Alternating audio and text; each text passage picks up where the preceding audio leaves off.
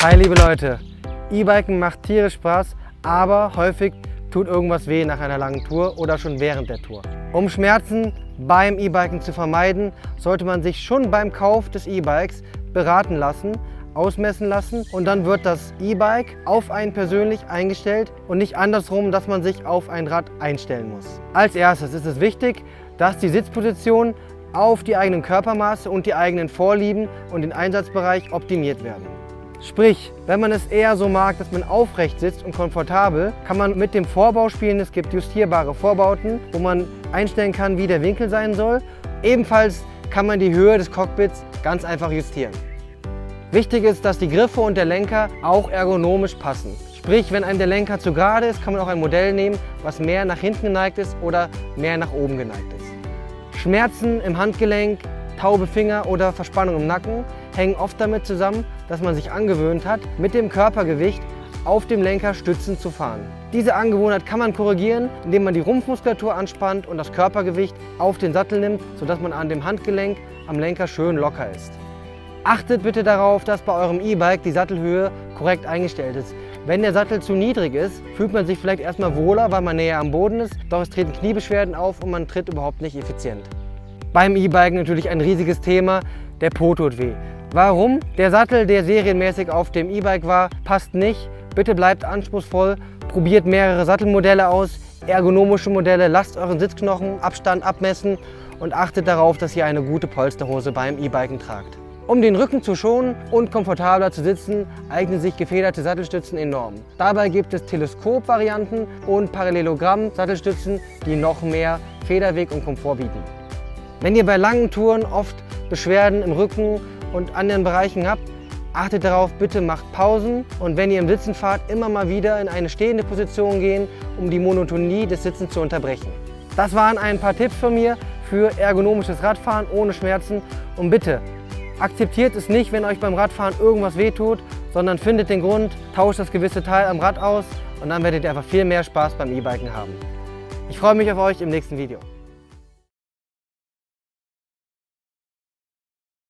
Hi liebe Leute, hier ist Marc und heute geht es zwar auch um Fahrtechnik in unserem Video, aber es geht auch darum, dass ihr einfach schmerzfrei biken könnt. Wenn es um das schmerzfreie Biken geht, haben wir natürlich mehrere Problemzonen, die ich euch jetzt mal zeigen will und dann auch erklären will, was könnt ihr da ändern, um schmerzfrei unterwegs zu sein. Ganz klar ein Klassiker der Sattel. Das heißt, die Leute haben an ihrem Mountainbike, das sie gekauft haben, Sattel dran, den lassen sie dran und versuchen sich an den Sattel anzupassen, doch bei längeren Touren haben sie dann immer Probleme.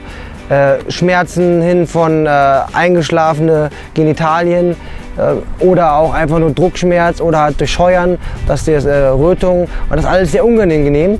Klar ist, das ist meistens der falsche Sattel. Schlussfolgerung, wer den falschen Sattel dran hat und das ist in den meisten Fällen so, muss natürlich jetzt losgehen und den richtigen Sattel suchen. Das heißt, beim Händler den Sitzknochenabstand messen lassen, dann verschiedene Modelle mal ausprobieren, um herauszufinden, welches Modell passt mir sehr gut. Ein guter Händler sollte euch auch gut beraten und äh, dann könnt ihr das Modell finden, was wirklich sorgenfrei ist, dass ihr auch mal längere Touren bis hin zur Transalp schmerzfrei fahren könnt. Ihr werdet merken, nichts ist doofer als eine Mehrtagestour, wo man am nächsten Tag einfach sich nicht mehr auf den Sattel setzen kann. Bleibt anspruchsvoll, wählt den richtigen Sattel für euch individuell. Der richtige Sattel ist wichtig, doch auch sonst können in dem Bereich Probleme entstehen. Zum Beispiel fahren sehr viele mit der falschen Sattelhöhe.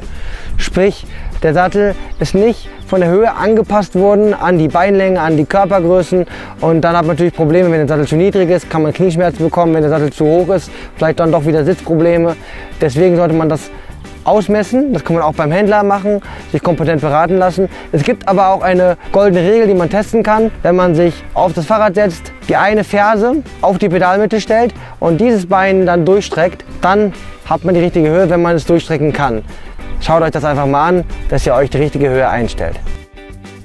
Meiner Meinung nach ganz, ganz verbreitet, fast die Nummer eins der Probleme. Die Leute haben einfach sich angewöhnt, dass sie, wenn sie im Sitzen fahren, da Strecke machen, von A nach B, gute Kilometer sammeln, dass sie dann sich mit den Händen auf den Lenker draufstützen.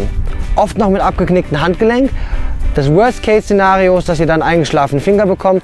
Auch sonst ist es sehr unangenehm, wenn ihr auf dem Lenker gestützt seid, werden eure Muskeln in den Armen sehr schnell müde und äh, es geht auch sehr in den Nacken, das heißt, man hat da auch irgendwann Verspannungen.